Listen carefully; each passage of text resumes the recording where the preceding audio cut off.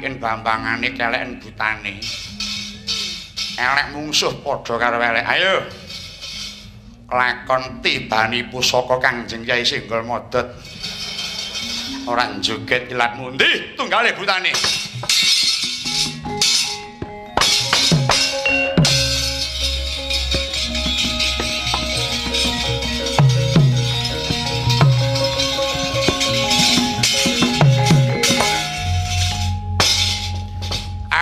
Surawijaya Jaya Prata Raja Satria jenemu sapa mamunge dimupuk durung mati tanpa aran ayo ayo nono iki ditya kala julu menang karo aku tak gurani kuwi Raja Satria kuwi apa kuwi eh kembang melati?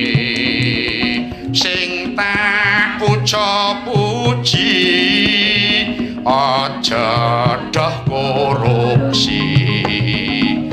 Marga yen korupsi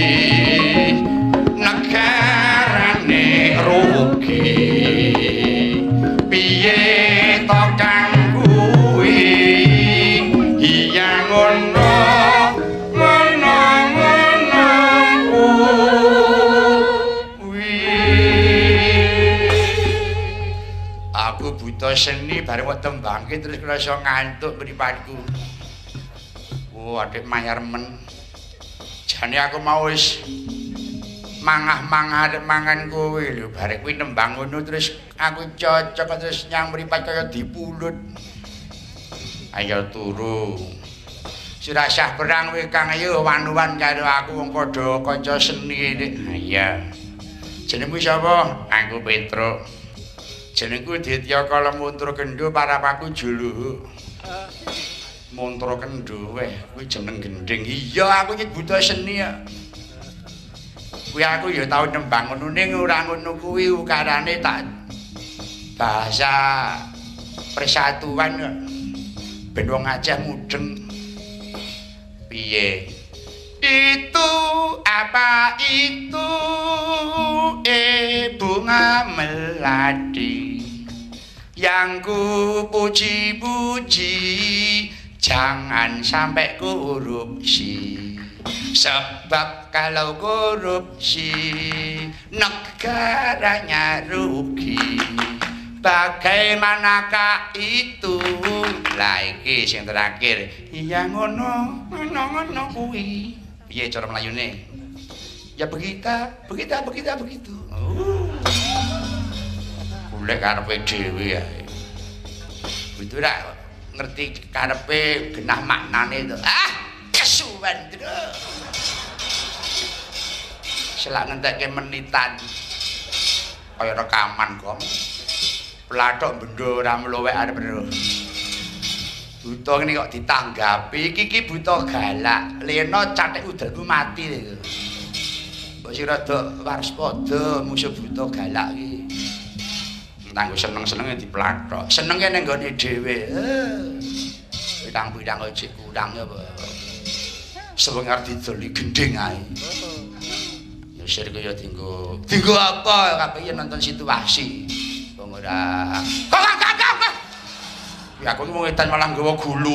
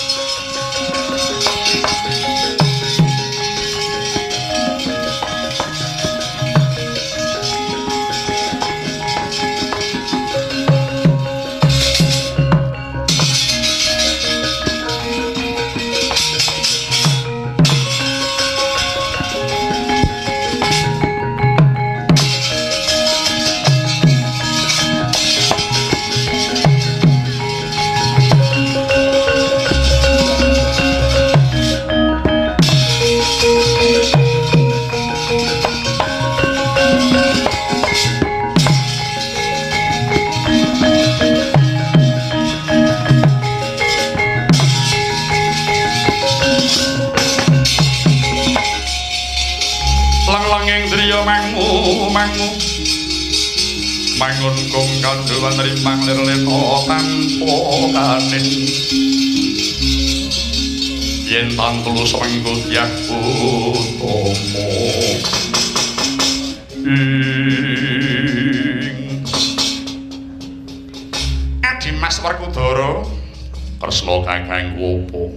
Kyai Arjuna kula wonten dawuh iki wis prateng tlatah Magoda di. Kendel dhisik ya di nganggo mandeng sebabe opo? Sumurupa ngarep iki ana gunung. Minangka bebeteng kraton Giribajra di iki jenenge Gunung Cetyaka Yai. Gunung Cetyaka iya. Lan muli wis madakno. Pucuk gunung kae ana tambure yai elok ing kahanan nadyan tambur kae ora ditabuh. Nanging sauger ana wong teka mongko dudu wong Giribajra tambur mau bisa muni dhewe yai. Kok bisa mengkono sebabe apa? Kuwi ana critane yai. Kados pundi cariyosipun kepareng kula nyuwun dawuh Koko Prabu? Mengkene critane. Narendra Giribajra ingkang sepuh jejuluk Prabu Briyadata Sang nata mau darbi garwa cacahe loro. Nanging garwa loro mau durung darbi putra kabeh. Usana Prabu Briyadata nindakake tapa brata marang Gunung Himalaya. Nyuwun marang Kang Karya Jagat muga ing kapin maring ana momongan. Iya. Ketrima tapaning Prabu Bryodata usana Sang Hyang Narada rawuh merpeki marang Prabu Bryodata kanthi ngasta pelem pertangga jiwa yai wis Hyang Narada pinanggih Prabu Bryodata pelem mau banjur diparingake. Lan kinen maringake marang garwane ing kono kinen dahar lan dadi sarana bakal entuk ing wiji yai nun inggih Koko Prabu. Lega tiasing Prabu Bryodata wis ketrima kang dadi pamintane Usana Sang Prabu banjur kondur marang Giribajra kanthi ngasta pelem tangga jiwa mau. Tumekaning praja dipethuke marang garwa loro mau. Banjur peleme mongko mung sawiji, gek mongko garwane loro. Mula murih adile pelem mau disigar biak dadi loro dening Prabu Bryodata. Ingkang separo kagem ibu sepuh, kang separo kagem ibu nom. Enggaling carita lumantan karo Sih lan Prabu Bryodata garwa loro mau banjur nggerbini bareng Yai. iya Titiwan cilik ing punang jabang bayi garwa loro mau babaran bareng. Ana kaelokan bayi mau lahir saka nggawa garbaning ibu mung separo-separo Yai. nun inggih Saka lingsem ing Prabu Bryodata bayi mau banjur diguwang menyang madyaning alas. Sawijining dina ana Gandharwa wadon ngupaya mangsan daging menungsa. Lumaku ana tengahing alas jenenge Nyai Jara. Kedatak nemu bayi kang mung separo-separo banjur digathokake dening Nyai Jara. Setemah bayi mau malah urip tur lanang Yai. Nun inggih Dening Nyai Jara bayi lanang mau dijenengke Jara Sandha. Joro Sanduk Iya. Banjur diopeni dening Nyai Jara iku mau nganti dewasa. Ngancik dewasaning Jara Sandha, dheweke ngerti yen sejatine anak Prabu Bryodata. Nanging dening wong tuane diemoi. Mula saking gempunge ngati marang Prabu Bryodata, Usana banjur mbarang ngamuk nyang kraton Giribajra. Kasembatan perang tanding lumawan Prabu Bryodata. Usana Bryodata mati dening tanganing Jarasandha. Tegese sing mateni kuwi malah anake lanang dhewe kuwi mau. nun inggih Wah, kuwi anak durhaka ya, Gong. Mula aja sok guwang bayi. Kene nganti bayi urip ngerti sejarahe ndak males karo sing tuwek. Oh iya. Lajeng kados pundi? Wis dipateni. Ewadene Jara Sandha isih kurang lega atine. Mula kulite Prabu Bryodata disuwek banjur dienggo lulang tambur kae, Yai. Lah apa to sababe dene tambur mau ora ditabuh kok muni dhewe? Biswa tata jalma lulang tambur kang dumadi saka kulit Bryodata mau njaluk tulung supaya disampurnakake Arjuna. Nun inggih. Mula Yai Parto gandeng si adi iku titis ing reh oleng jemparing. Mara gagedi tumule enggal jemparing karepene enggal bedah Arjuna. Bumi goncang kancing langit kelap-kelap katon. Dari kincanging sang maweh gandrung. Koko para buyun tambang pangestu. Mongso boro yayi.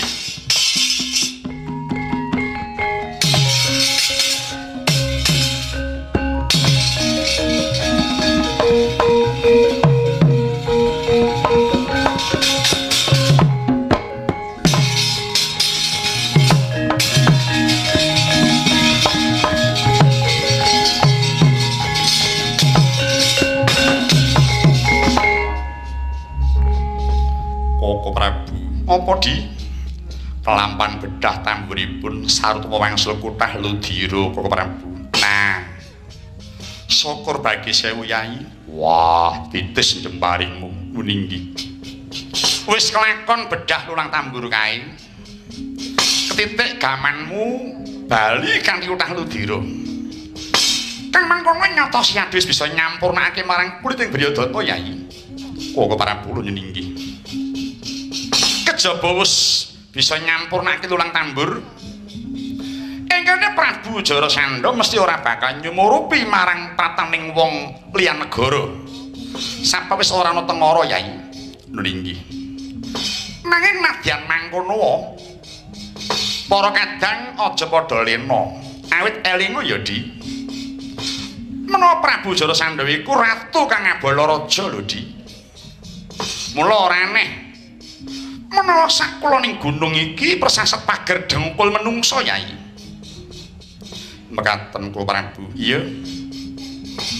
Ya kok mulih kok rasah melu gawat kok kok wis nunggu nang kene wae rasah melu. Ewa dene Werkudara ana becike Prabu Jara Sandu sithik? Apa becike? Diperintahake dening Prabu Jarasandha kabeh warga Giri Bajra ora kena gendak sikara marang Brahmana. Iya. Kang mengkono di kanggo raharjaning laku, ayo padha ingsun kanthi ngagem cara Brahmana Yai. Mengkono iya, ing pengajap aja nganti ngawis tarani. Namung istokaken dawuh. Lantak pundhut padha ganti jeneng sisik ya, Di. Nun inggih. Iya. Piye ponakan kowe nderek apa ora? Yen kowe nderek kudu ngagem cara Brahmana slamet uripmu. Oh nggih, Derek. Kowe apa nggawe sandangan pendhita? Golek sewan to, Le? Yang ngene Mas Yata kono. Saleh jeneng lho, Ah, tuh golek jeneng. Pun Kakang peparep Begawan Patmo Wicitra. Aku jeneng Begawan Jayalaga. kula parto sandi kowe sapa Tru Somo ngalimun malah wong karang dawa. Ganti jeneng pegawan Somo ngalimun. Ben ra ketara. Ayo budal di ayo tak derek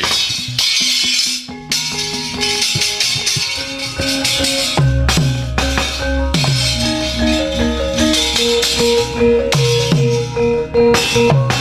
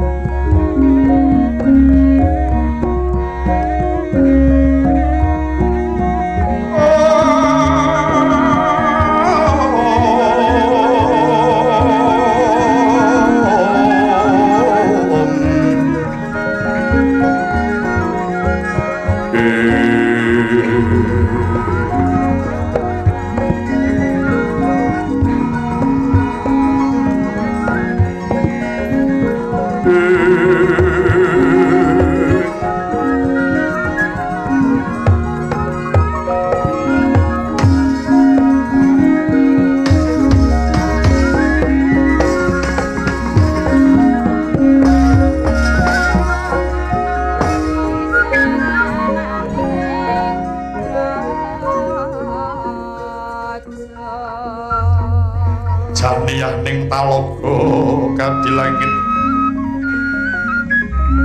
Mambang tang pasulan utamaneka wentang toliwa kusumaya semawur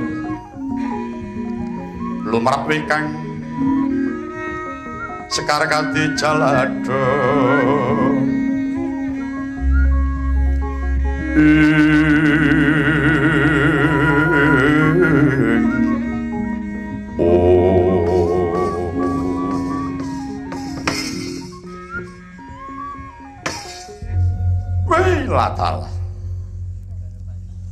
Bejo kemayangan dini sangkar pamujanku karawan sang brahmono.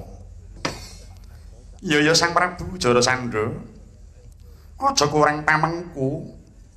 Aku sakadang praptana ing pertapan kang sala ing madyaning pasanggrahan kene sang Prabu. Inggih sang penemban. Mboten atas menapa? kepara malah bingah rasa manah kula dene paduka keparang rawuh ing negari kula ngriki. Sang penemban, hamba beli keparang kula nyuwun keterangan. Penemban menika brahmana saking pundi saha sinten peparapipun sang penemban? Ya ya sang Prabu. Ingsun iki pendhita ingkang kliyang kabur kanginan peparapku Begawan Padma Wicitra. Aku Begawan Jara Jayalaga. Semonoga aku peparapku pegawan Parto Sandi. Kula semua ngalimun. We, pandhita kok ana sing jenenge semua ngalimun. Inggih gadah pentingan piyambak-piyambak. Kowe kuwi pentinganmu babakan apa? Madosi barang ical. We eh eh mengko ngene Sang Prabu Iki terus pundi? Pratahku ana kene iki kepengin bakal nindakake marang darmaning kabrahmananku.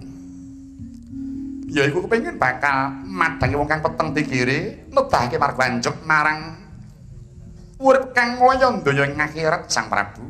Lah dalah. Dawah kalerosan Sang Penemban, bingah rasa manah kula. Sapa pekdamangke nembe peteng jagat kula Penemban. menggali perkara apa Sang Prabu? Kula mrihatosaken dhumateng impen kula penemban. Sang Prabu nyupen napa? Ing lebeting pasupenan Giri Bajra kablapak banjir bandang. Ingkang kalimpak-limpak katut banjir mukan jawi sakembaran ingkang so saking papanipun. Bibar nyupen mekaten teka lajeng kuwatos rasa manah kula Sang Penemban. Wela dalah. Syukur bagi sewu dene Sang Prabu isih ndarbeni rasa kuwatir. Uruhan ana Sang Prabu. Banyu kang metu margane pengimpen mongko kuwi banjir iku mujudake pengawakaning mungsuh Sang Prabu. Dene waringin sekembaran iku mau pesmoning Sang Prabu Jara Sandha Dewi. Ingaten iya. Sautuwe impen iku mau ngemutake marang Sang Prabu. Menawa Giri Bajra kene bakal ketekan mungsuh. Mungsuh mau bakal ngarah marang sidaning Prabu Jarasandha pribadi. Ning kosok baline. Menawa Sang Prabu kersa bali marang marganing kabecikan. Kanthi sarana ngluwari para nata kang sira kunjara. Ing kono Sang Prabu bakal manggih yuwana lan impen mau ora bakal maujud Sang Prabu. Nuwun sewu Sang Penemban. Para ratu kula kunjara menika pengangkah badhe kula pejahi. Kula inggih bekakak kunjuk dhumateng sesembahan kula pukulun Bathara Kala. Ing pangajab supados Sang Hyang Kala keparenga selaminipun ngayomi dhumateng gesang sak wadya bulan lan para kawula kula ing ngriki Sang Penemban. Prabu Jarasandha. Iya, terus pundi? Sira aja nyembah marang Bathara Kala Sang Prabu. Awit Bathara Kala kuwi dudu sesembahan, kuwi dudu sing gawe urip. Yen bakal manembah sujuta marang Gusti kang hakarya jagat. Lan ngestokno apa kang dadi dawuhe, lumantar sira kudu ngrasuk salah sawijining agama kang sira percaya. Kuwi sejatine panembah Sang Prabu.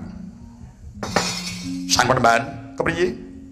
Sampun dados kapitadosan kula dhumateng Sang Hyang Kala. Sinten kemawon boten saged nyingerke blatih panembah kula Sang Panembahan. Terutama malih ngayawara bilih wonten wong sasaken mlebet ing negari kula ngriki sabab saderengipun mengsah menika mlebet. Kula sampun mangertos langkung rumiyin lumantar tambur pusaka kula. Ingkang mapan ing pucaking Naraga Cetyaka penemban Sang Prabu. Dos pundi? Aja sok kibir mundak kabur aja sok sumbar mundak abur lho Sang Prabu. Yang Sang Prabu ndatak mengkono. Ndak emotake ora kersa ya ing kene bakal tumuli wujud lambang kang metu margane mangipen mau Sang Prabu. Langsung rupa. Tamburmu wis ora bisa muni sampe wis dibedah dening calon mungsuhmu Sang Prabu. Sang Panembahan, ampun gegirisi kula. Mboten wonten wong sah ingkang saged nyelaki kula. Nadyan to sampun saged bedah tambur kula Sang Panembahan. Watak angkara murkamu watak sesongaranmu pancen ora bakal bisa ilang. Namun ora bareng karo sing nyandang. Maradagi wis padakno Jara Sandha mungsuhmu wis tok adepi wis ana ngarepmu. Ingsun dudu pendhita ingsun Prabu Kresna. Ha iku Udara aku Janaka. Wala ta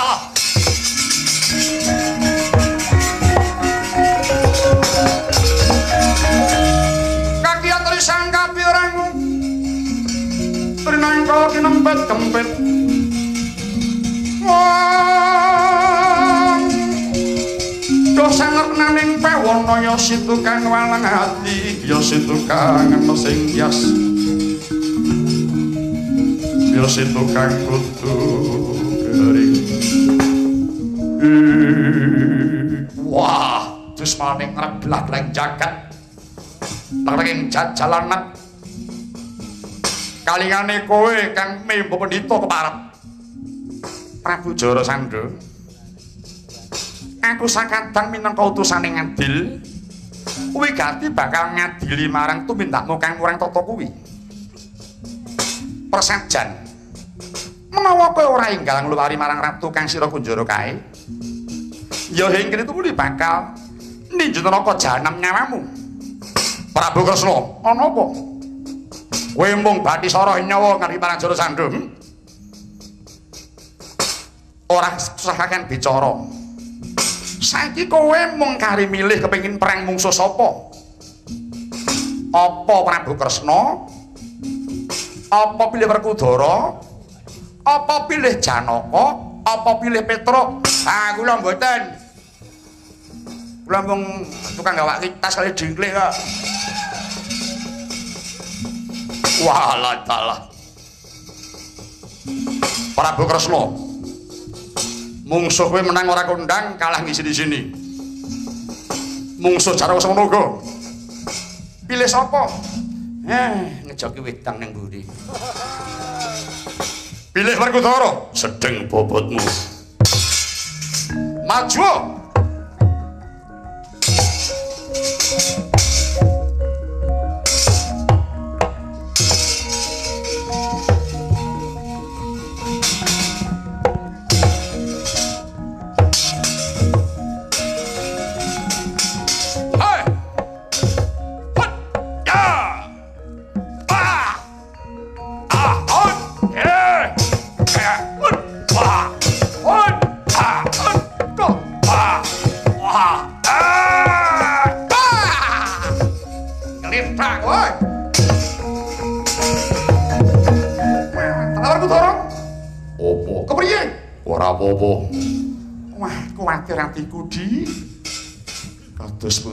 Kakang Mas? Rambut menapa ora awakku isih waras. Ayo tangi. Ya. Pridi kok ngono ki piye? Ah. Marake nyendake umur. Wong wis sago aja brak-brak-brak mbok pun. kuat kita den mung kurang setengah jam ini mula nggih jamu niku penting dek sing miliki ora gelem. Kuwi tembung apa? Jara Sandra tak genteni ya, mo. Lho, mo kok di. Ing dalem aku genteni. Mboyem sake Kakang Mas genti aku wae. Ora sudi. Kula nawake mboten gelem kok, Dek. Menurut aku elek ya dimoy. Perkudara opo? Pisan iki enggal mangkat ya di lan tak weni keterangan. Pri. Mulane Jara Sandha Sekti Mandra kuwi sampat dheweke kuwi. Darbe daya luweh ning ana pengapesane. Pengapesane opo? Ora gak wis madakno. Nggon boyok diombyong-ombyong sandangan. Pengapasane ana kono sebab Jara Sandha wis kondang Ratu Selewang. Mula di lamun sak bisa medhot marang boyok ing Jara Sandha. Ora suwe enggal mati. Mau-mau ora kandha ngono.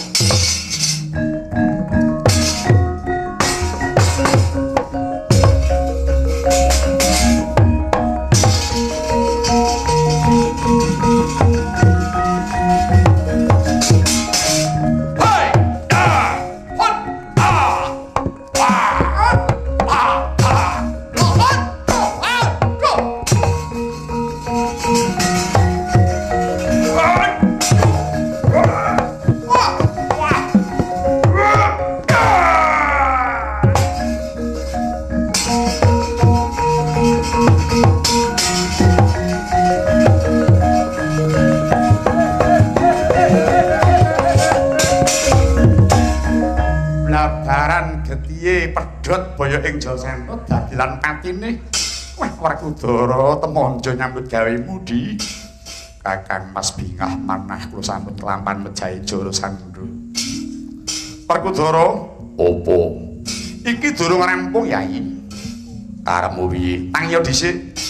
Yo piye? Iki Jara Sandha kudu digawe nyang Praja Ngamarta kanggo tumbal. Mengkono iya. Yo digawa ya digawa. Mula dina iki aja ketanggungan ya di. Marata muli gawanen babar pisan. Bojo aku. Liyane aku. Aku wis nglakoni perang wis mati tak pun nggawa batang. Apa kurang wong? Pun kakek ora kuat. Saya malih kula iki mboten kiyat. Liyane apa ora ana tenaga liyane? Oh iya. Aku nggawa Hardi Petro. Pet lho. Tekan pancoran.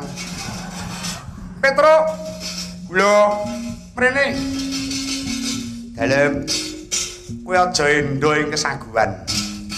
Wis pundi? Bangkin niki gawane nyang kraton Ngamarta. Menika, iya. Kula mboten badhe selak, namung keparenga senuwun nimut dhateng dawuhipun kakekne Semar. Bapakmu ngendika apa? Yen nggawa syarat mongko dienggo sesaji, aja nganti sing nggawa ki wong reget pikirane. Aja wong reget tumindake.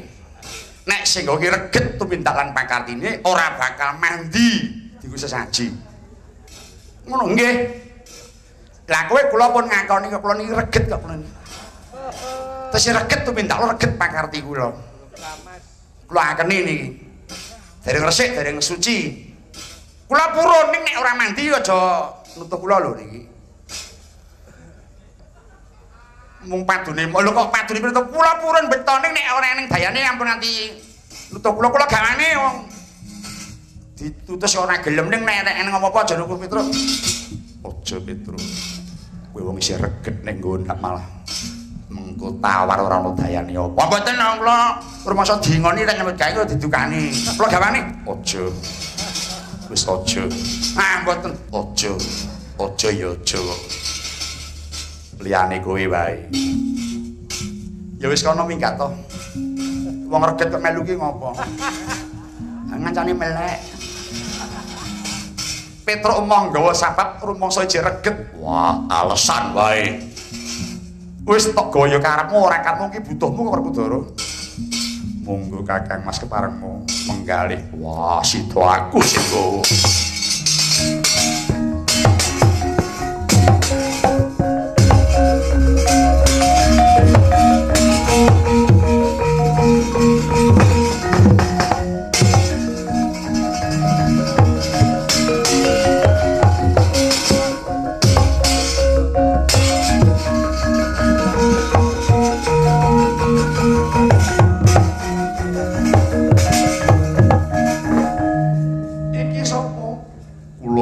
pun Jayat Sirna senuwun putra Sang Prabu Jarasandha tak kabari wong tuamu tepenganing pati sing mateni Werkudara kowe gelo apa ora? Waduh senuwun sembah nuwun sanget. Dene Sang Bima Sirna dados lantaran sedanipun Kanjeng Rama. Lho kowe ora mrino babar pisan mboten. Sabab mboten gathuk rasukan Kanjeng Rama. Inggih Rama Seda malah merdika inggih bojo menika Kanjeng Sinuwun. Wah, dalah apik atimu Jayacena. Mengko ya wektu kowe tak dapuk dadi ratu ana kene nggih wong tuamu ya. Lho. Dina iki tumulinggal luwarana nare dise dikunjara kae. Lho iki. Wis mengkono. Iri dinyang Marta sesuk lho iki. Muneng Kanjeng Sinuwun.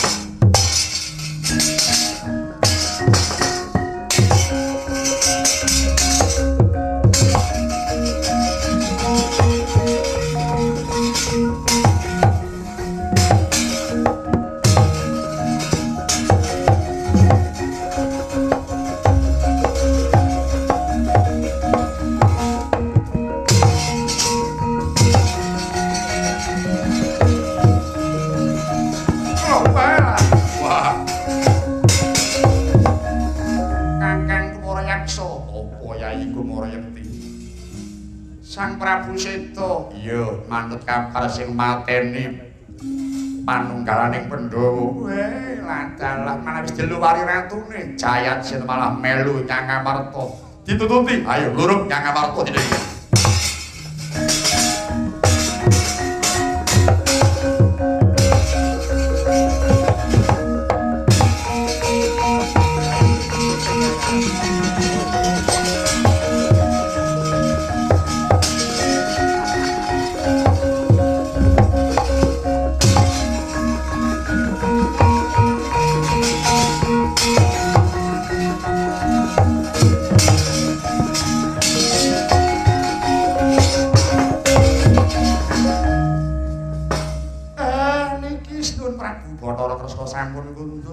dene. Kakang Semar, ingsun wis mundur. Kakang Semar, kula kepriye oleh nguyasa Pandhawa kagem para ratu? Apa wis petindakake Kakang Semar? Eh, Pandhawa menapa? Priye to Kakang? Maka ingsun bakal budal nyang Giribada wis meling marang Kakang Semar. Nyuwun tulung gawekno tarub kang gemeyep-yep palengganing para nata kang bakal rawuh. Mangkono wali kuwar kang Semar. Eh, kula kesupen sinuwun. Wah, wis ilakane jalma.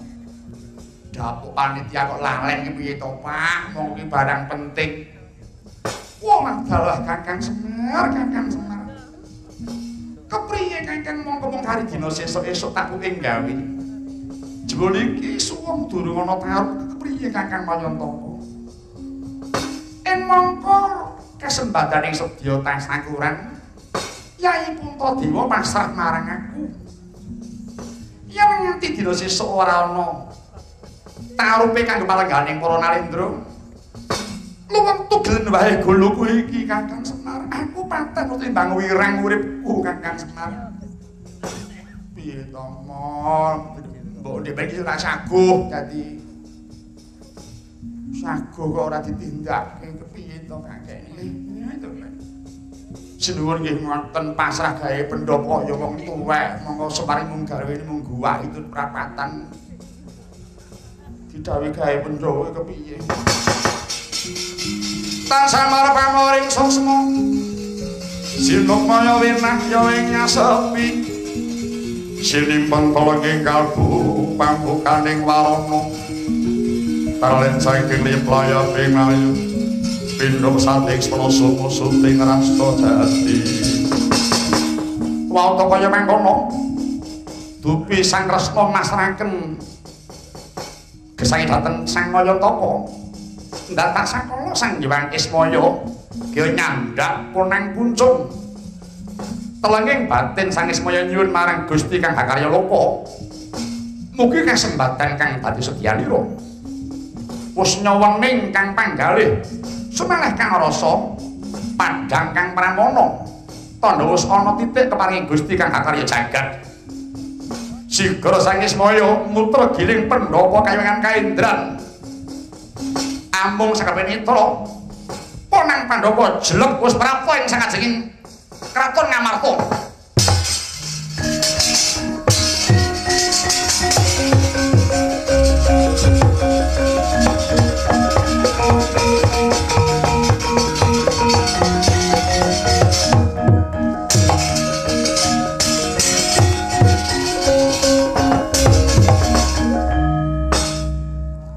kados pundi sinuwun menapa menika kagem palengganing Nalendra?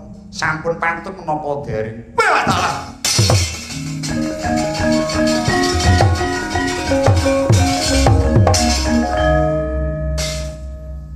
kula nyuwun pangapunten Bu kula Nismaya nggih dawah sami-sami. Ing Macapada dereng wonten pendhapi kados mekaten indahipun Bu kula Boten ngoka, boten aneh yen ngrecopada dereng enten. Langkar menika pendopo kaendran kula bedol. Kula boyong ngriki kok, Den. Welah dalah. Niki pendopo kaendran. Iya. Lah sing duwe nesu pripun? Eh, sing arep nesu sapa?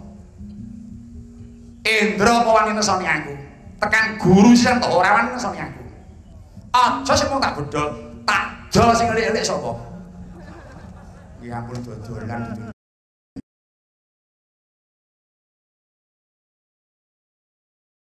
Mila kangge tenger dununging pendhapa niki wujud sarwa kencana. Saking kaendran dhateng negari Ngamarta. Kula nyaosi tambah nami kangge negari Ngamarta, kula namaken negari Kencanapura.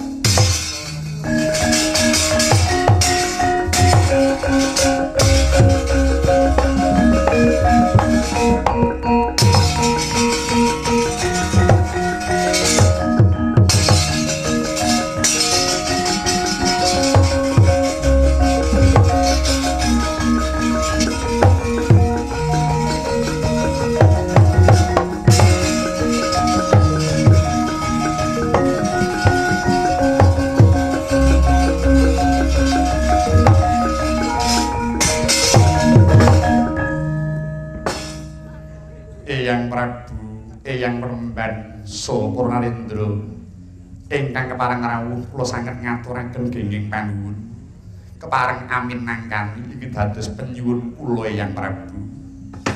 Ya nggih buyutku Puntadewa. Ingsun minangka wakil Malendra. Cacah 114 arang tukang kepareng padha rawuh. Angestreni marang apa kang dadi tasakurane sira kula Puntadewa. Iya ya nggih Prabu Puntadewa. Puneyang minangka dadi gegununganing Brahmana pitu kang wis padha rawuh kang wigati bakal handonga bebarengan. Mur kasempataning tasakuran wayah Prabu. Sanget ngaturaken genging penuwun. Anak Prabu Unta kula wonten dawuh. Prabu Prabing Mandaraka. Rumaos mungun pun bapa ningali dhateng kaendahaning pendhapi paduka menika nggih. Menika niyasa Prabu Bathara Kresna. Pulang dadi selantaran Paman Prabu. Iki niyasa pukulun Ismaya. Belah layak to layak jagat bro sing padha marang pendhapa iki. Weh. Hmm, bejo kemayangan Puntadewa kabeh padha jangkung. Buyutku Puntadewa kula wonten dawuh. Iki kaya wis prayogaya diwiwiti tasakuran ya nggih. Lajeng sinten yang Prabu ingkang nampi pakurmatan sepisanan hangunjuk unjukan pakurmatan saking kula sakadang. Pengrasaning pun yang sing kudu nampa luwih dhisik unjukan pakurmatan mau aja pun kaki nadyan pun kaki wis jare ngasepuh. Nanging kaya ora prayoga nampa unjukan pakurmatan sepisanan kang wajib nampa dhisik unjukan pakurmatan mau kejaba kang Raka Ndwarawati nggih Puntadewa sebab apa Awit kejaba buyutku Kresna iku ngrigenake kelakoning tasakuran agung iki. Uga panjenengane iku pangijawanteng pukulun Sang Hyang Wisnu. Dewa kang menang handun kabagian nggih ora ngacepada iki Puntadewa. Ingkang mangkono bejo kemayangan dene buyutku Pandhawa bisa kegandengan asta lawan wayah kuwi Ndrawati. Pun kaki lan kang padha rawuh iki ora kendhat tansah nyuwun ing kersaning Hyang Manon. Muga sugenging buyutku Pandhawa lan kabeh para sekabate tansah pinaringan rahayu jenis kala nggih Putra Prabu. Ngaturaken kenging penuwun Kanjeng Hyang Prabu. Monggo Koko Prabu. Kakang Prabu Kresna pareng wahana piyunjukan pakurmatan sakiti paduka Puntadewa Prabu.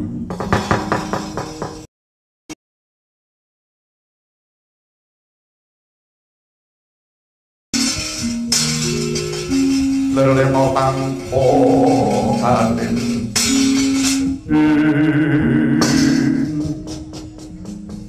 Duh yayaji. Pun kakang sangat ngaturaken diri menuwun dene namung sak derajat kula.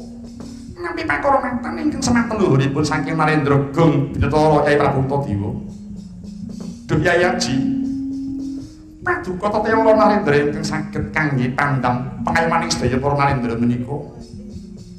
Awit yayaji sampun kelampahan napak tilas dumateng narendra gung ing purwacarita sang prabu sri maha punggung tutan karo nuhun mugi-mugi Gusti ngudaneni dayaning tasakuran menika saged damel teteping bawana saesinipun yai ngaturaken kenging penuwun kula prabu Madyanto kathah narendra ingkang sugih Banaraja donya.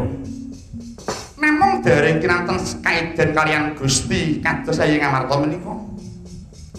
Mila kula amstanisa nekseni tuwin sreseng sang para ingkang sami rawuh.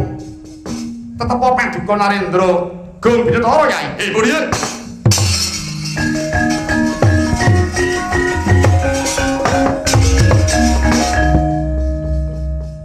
para narendra aja padha nekseni dhisik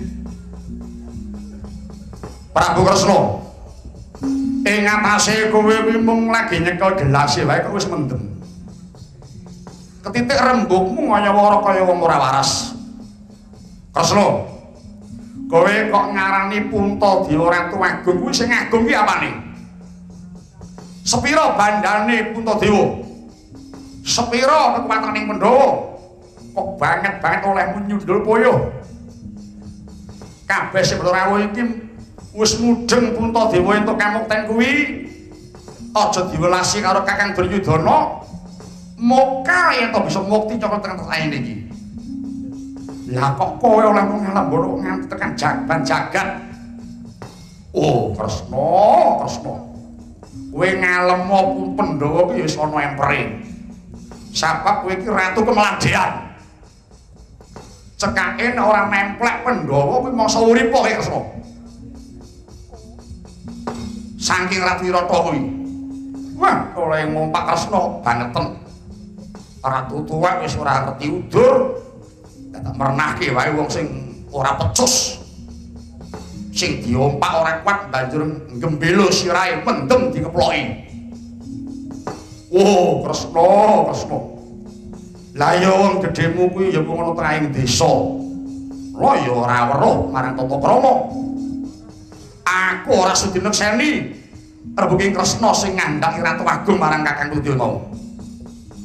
Ning nek kon ngidak-idak sirahe Kresna, lah ayo padha tak warai dina iki. Nyat langen ning kalang iwan naglar mantan muncar. Yen nonder kekomeng suar suara tetang padang. wata kaya mengkono. Pating leset pating lesik sebawaning para nata dupi miyarsa rembaking Prabu Supala ratu ing Cedi. Mangkono Prabu Kresna ngetitis Sang Hyang Suman. Dasar wis pala pareng ngobah musik ing jagat. Ora rengu kepara gumuyu jroning kabun irengake marang rembaking Sang Supala. Eseming lati Sang Kresna mahanani murep nang dada. ndatak senglo senjata cakra ingkang mubeng dasare murup sak klopo gedene medal sing telenging jojo sigra lumayan rejangganing Prabu Supala. Amo dari tetet ponang cakrawus mungkasi kesaing Prabu Supala. Kating tugal tel kang mustaka bahing semua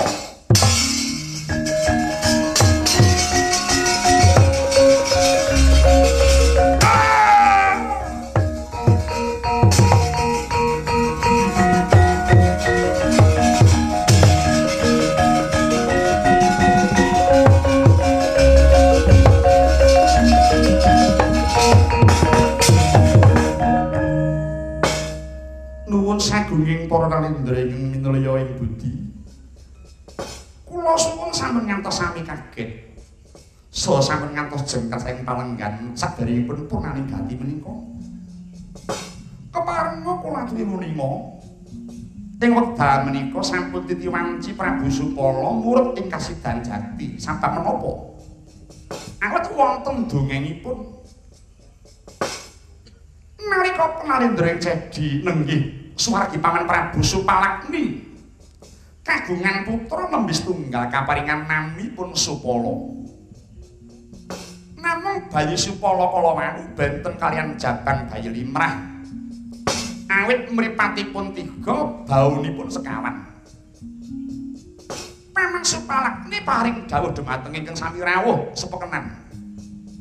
Sinten ingkang saged nyampurnakaken wujuding jabang bayi kados bayi limrah Ing mriku Paman Prabu Sumalakni masrahaken pejah sangipun puneng jabang bayi kala mau.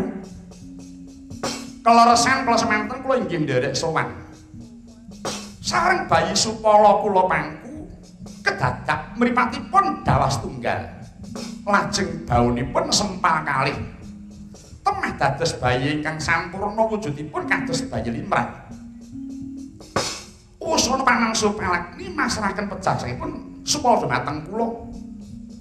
Ewa semanten kula inggih gadah petangan. Ingkang suraosipun menawi gersangipun supaya menika mboten damel dosa tuwin klepatan dhateng kula rambah kaping 100. Kula tetep paring pangapunten dumateng supaya. Ing mangka dumugi wekdal menika kula petang sampun rambah kaping 100. Piyambakipun damel dosa tuwin lepat kalian kula. Mila sampun titiwanci kedah kula utamaken mawi cokol pejahipun sepuluh. Aduh, kakak, kakak.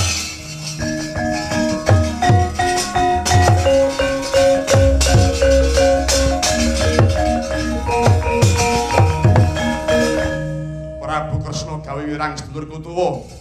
Kowe mateni ngono madani Pendhom Agung. Aku wadine jenengku Supali wonten ing wektu tak angkah pati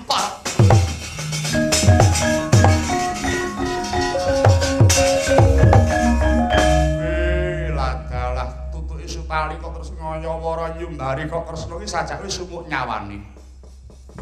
Wis wis nggih wayah Prabu aja nganti padha dipenggalih arbuking wong kang lagi sereng penggalih mau. Iki kanggo geneping sarana mrih kasembadaning tasakuran tegese pancen pendhuwis bisa nyirnake angkaraning jagat iki nggih Kresna. Kanthi pati ning jara sandolan Supala dadi paseksen sudaning antara ing jagat iki kira ya Prabu niki Kanjeng Iya. Ayo nggih puntulan kabeh Naratraja tinggal manjing madaning pamujan unjuk syukur ngersani Gusti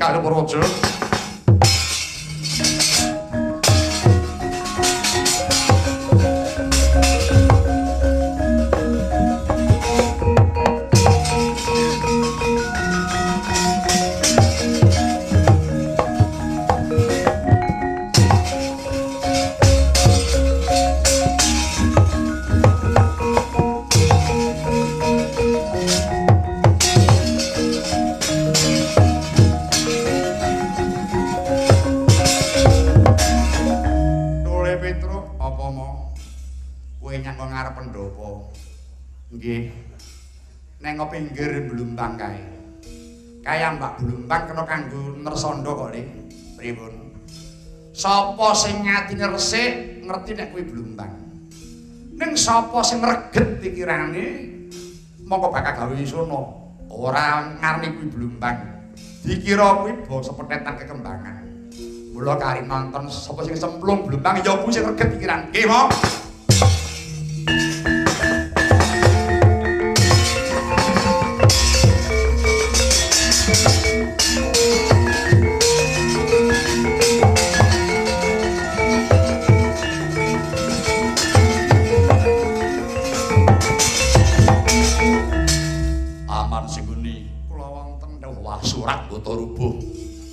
Kabeh penduduk seni kuwi tasakuran para penduduk.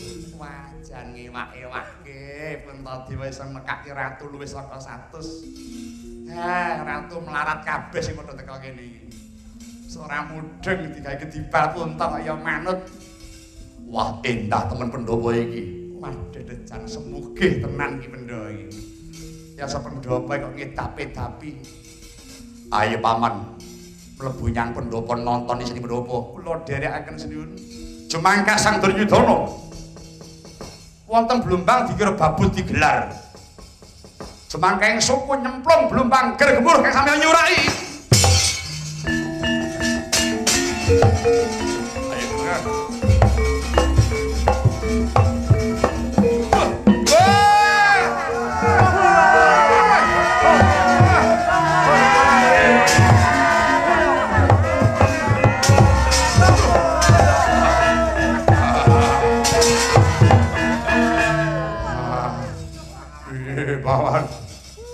aku iki mau blumbang.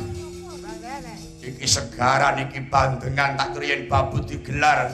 Aduh mi. Wedi banyu malah kejarak. Atus Lah tak kira babu jebul iki mau segaran. Wah, bendo kamera kalau bodoh nyuraki para narendra sak sekambati. Wah, dombalangi apa-apa. Wah, wala nika kali Durpadi nika. Temu panggungan nika ajeng napa nika? Prabu Duryudana, Prabu Duryudana. Atimu reget ora resik ketitik ora ngerti marang segaran kang tok liwati. Ketoke melek netramu jebul. Ora beda wong tuamu Prabu Duryudana. Wah, parat. Wah, Wah,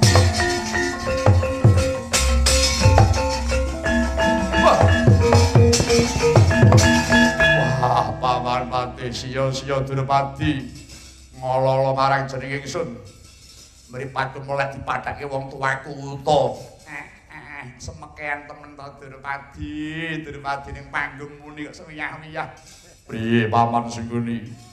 Yen nganti rasa ngrebut negara Ngamarta iki telu ngaku paten ana. Sampun kuwartos, tasih wonten kula kok nggih. Mangga kondur miyen kemawon. Manggono iki mangkil itu wekdal Pandhawa badhe kula apus krama nganggo cara apa dipun tantang dadu mawon. Ning mboten saniki jeng taun ngajeng mawon. Manggono iki Mangga kondur miyen ya paman mongso borong kasempatan iki kok gak ngerti. Iya mangga.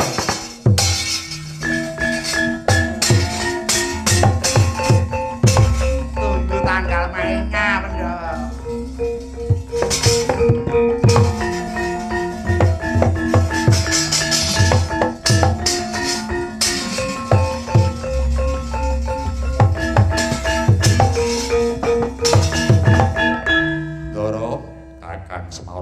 sampun titi purning gati, tasakuraning poro, pandowe kang dibun pandigani keng roko. Iya.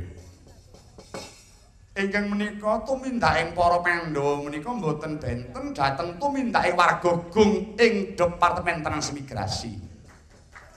Romeos nampi kanikmatan lajeng syukur ing saning Gusti Kang Hakarya Loka.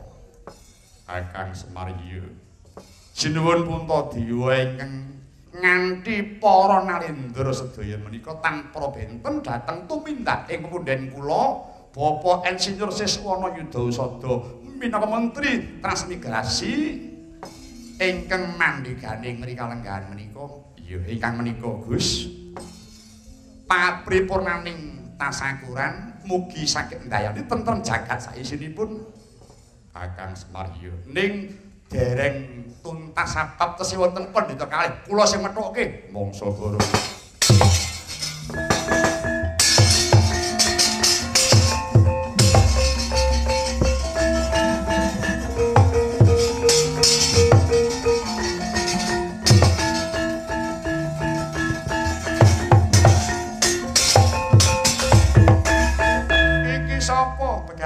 Kumara Yakti, Kumara Yaksa, arep ngopo?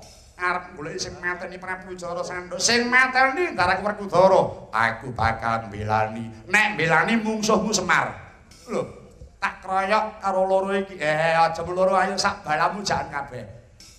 Nek mripatku mok tutupi garo nek dadi mbok cetok eksekusi ya. Ayo ndang cucul.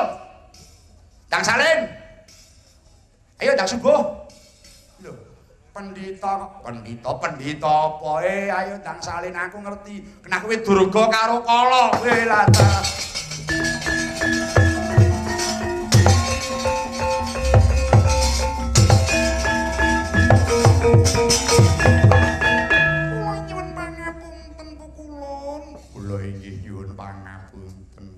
Wedoh yak-yakan nih pendita, tapi jangan-jangan bingar apa-apa toh?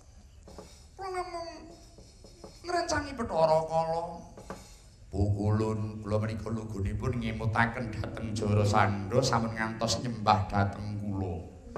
Namung piyambakipun boten purun nampi atur kula.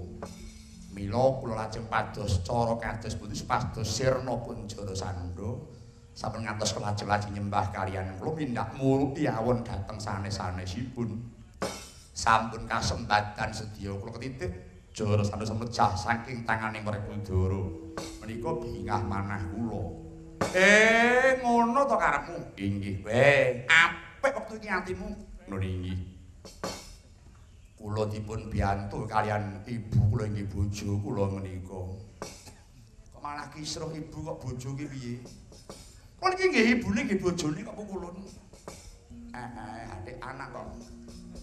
Nguntal ibuke kok kurang wong. inggilaken katen kawontenanipun. Iki wis paripurna letasakuran kuwi padha bali yo. Nyuwun pangestu. Kula nyuwun pamit. Nek bali aja mung loro, balamu jan kabeh. Jem setan priprayangan ora kena kari ning transmigrasi kene. Kudu minggat kabeh. Sak pungkurmu departemen transmigrasi kudu wilujeng ning sekolah, aja sampe kala apa-apa. Nuswantara kudu rahayu sabab wis kinggatan jem setan perayangan. Pamit pukulun. Ih, nyuwun pamit